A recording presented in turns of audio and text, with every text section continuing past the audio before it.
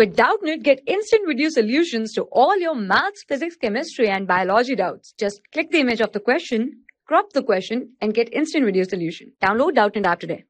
The given question is a 3 liter gas mixture of propane and butane on complete combustion at 25 degrees Celsius produced 10 liter of carbon dioxide. Assuming constant pressure and temperature conditions, what was volume of butane present in the initial mixture?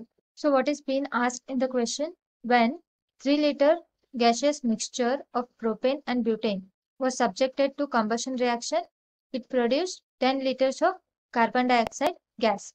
If we assume pressure and temperature to be constant, then we have to find what was the initial amount of butane present in the mixture.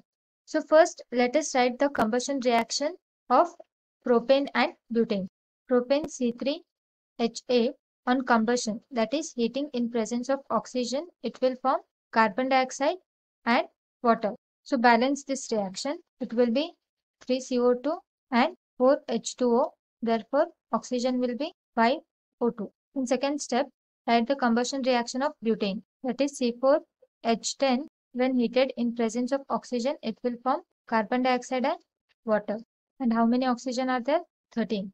So it will be 13 by 2 O2. Now this reaction is balanced. So what was the total volume of gas given to us? It was 3 liter. So mixture of gas was 3 liters, right?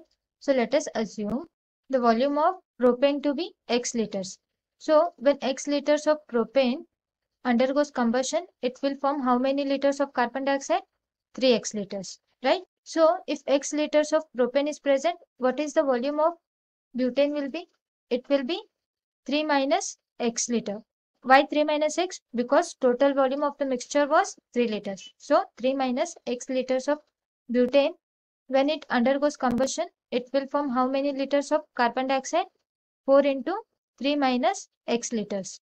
What was the total volume of CO2 produced? It was 10 liters, right? So when x liter of propane undergoes combustion, it produced 3x liters of carbon dioxide. And butane, it produced 4 into 3 minus x liters of carbon dioxide. So it was total 10 liters of CO2 was produced.